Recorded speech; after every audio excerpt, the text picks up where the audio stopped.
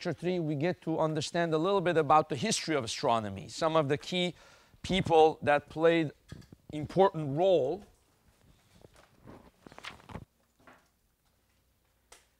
Of course, I put this picture because it's very key in the history of astronomy. It's called the Leaning Tower of, not pizza, Pisa. Not the Leaning Tower of Pizza because that, that makes you hungry, okay? But I'm sure if you go there, they probably have a store on the side that sells pizza. Uh, so what is it famous for? Galileo went on top and dropped objects to show that they fall at the same rate. They hit the ground at the same rate, right? And uh, now it's starting to lean more and more. It's a very historical site. People go there for tour tourism. Uh, archaeoastronomy is the study of ancient civilizations and how they studied astronomy. So there's a whole branch of astronomy that is called archaeoastronomy, kind of like archaeology.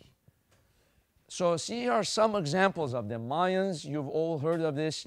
They built huge temples in honor of their gods, especially the sun god, which still stands today. So they had a whole history of calendars and a rich history of studying the sun and worshiping the sun and all of that. Um, there's a quick picture that I can show you here. This is uh, one picture of many. Uh, you see here the temple. These are the steps and stuff leading up to the top. So people go there again. A lot of tourists go there to view the temples and to study them.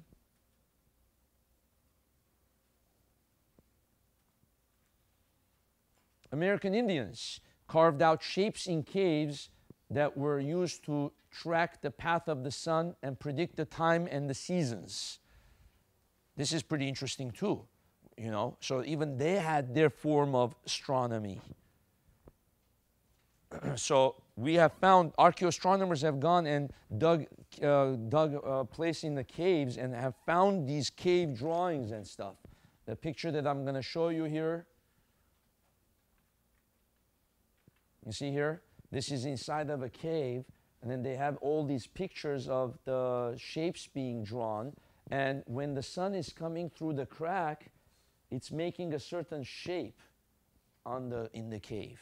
And then based on that, they are able to tell whatever season it is and the time of the day and so on, like that. So that's, uh, again, another example of archaeoastronomy. And there's so many examples that be, you could basically fill out pages and pages.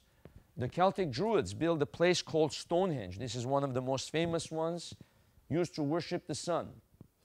On summer solstice, the sun's shadow would fall in the middle of the temple.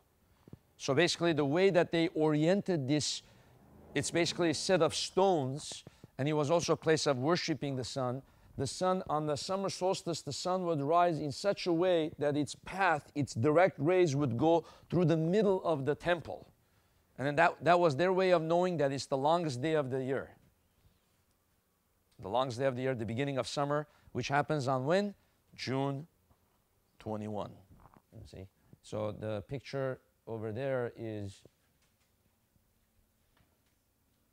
this is it here. So um, when the sun shines, it goes here through the middle, directly through the middle. And then they have two pillars here. On, besides these stones, they have two stones here and the sun goes directly through there. Only on June 21, on the longest day of the year, the sun goes right through there, right through there. And then you can see here tourists are there uh, taking a look at it.